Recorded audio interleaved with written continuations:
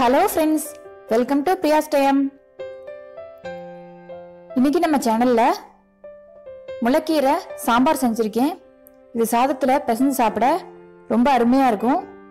எப்படி பண்றதுன்னு பார்க்கலாம். முளைக்கீரை கட்டு. இன்னைக்கு ஒரு கட்டு எடுத்திருக்கேன். இதை காம்பை மட்டும் அப்படியே வேரோட எடுத்துட்டு இந்த மேல் பகுதியை மட்டும் தான் செய்யணும். நல்லா வாஷ் பண்ணிட்டு பொடி பொடியாக நறுக்கி வச்சுக்கலாம். இது மாதிரி மேல் பகுதியை மட்டும் எடுத்து செய்யலாம். இப்போ சட்டியில் எண்ணெய் விட்டுருக்கேன். எண்ணெய் நல்லா காஞ்சிருக்கு. அரை டீஸ்பூன் கடுகு சேர்த்துக்கிறேன். கடுகு நல்லா வெடிச்சிடுச்சு. கடலப்பருப்பு ரெண்டு டீஸ்பூன். பருப்பெல்லாம் போட்டு செய்யும்போது வாயில் நல்லா கடிப்படும் போது நல்லாயிருக்கும் டேஸ்ட்டு.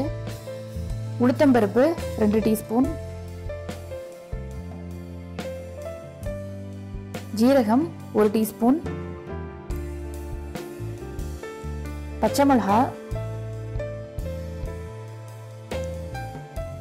பெருங்காயம்.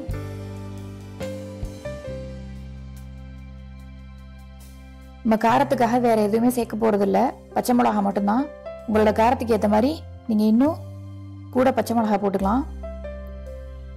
கீரையை நல்லா வாஷ் பண்ணிவிட்டு க்ளீனாக நறுக்கி வச்சிருக்கேன். இதை போட்டுக்கலாம். இந்த எண்ணெயிலே ஒரு தடவை நல்லா பெரட்டிட்டு செய்யும்போது நல்லா டேஸ்ட்டாக இருக்கும். மஞ்சத்தூள் அரை டீஸ்பூன் சேர்த்துக்கிறேன்.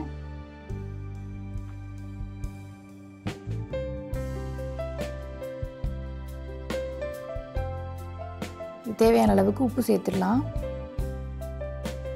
இது நல்லா கலந்து விட்டுட்டு வேகிறதுக்கு தண்ணி விட்டுக்கலாம்.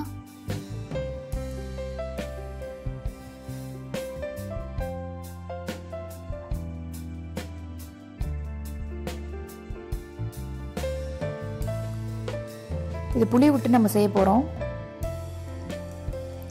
ரெண்டு தக்காளி கட் பண்ணி வச்சுருக்கேன். இதையும் போட்டுக்கிறேன். இது லைட்டாக ஒரு புளிப்பு டேஸ்ட் இருக்கும். ரொம்ப நல்லா இருக்கும் அருமையாக இருக்கும். இதை அரைக்கிறதுக்கு ஜீரகம் பச்சை மிளகா தேங்காய் எடுத்து வச்சுருக்கேன்.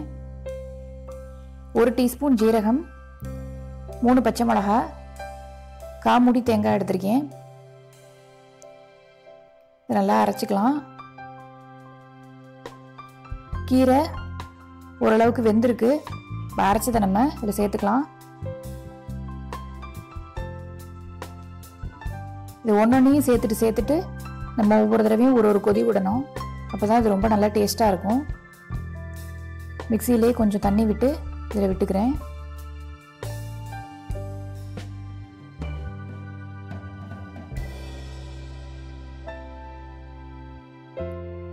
புளி கொஞ்சமாக நினச்சிருக்கேன். இதை கரைச்சாச்சு இதை விட்டுக்கலாம். புளியோட பச்சை வாசனை போக ஒரு கொதி வரட்டும்.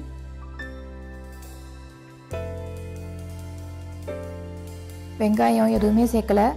ரொம்ப ஆனால் டேஸ்ட்டாக இருக்கும். இது துவரம்பருப்பு மஞ்சள் பொடி போட்டு நல்லா குழைய வேக வச்சுருக்கேன். இதையும் நல்லா தண்ணி ஊற்றி கரைச்சிக்கலாம்.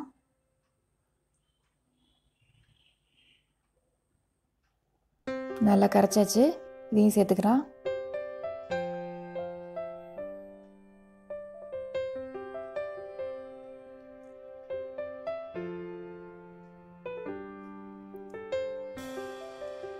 இது நல்லா தண்ணியாக தான் இருக்கும்.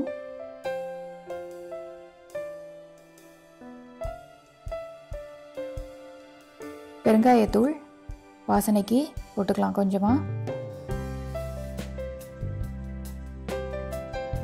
பருப்பும் ஒரு கொதி வரணும். மண் வாசனையோட சட்டியில் தயாராகிட்டுருக்கு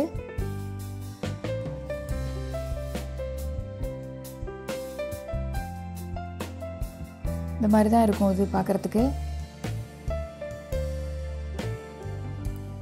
நல்லா கொதிச்சிருச்சு.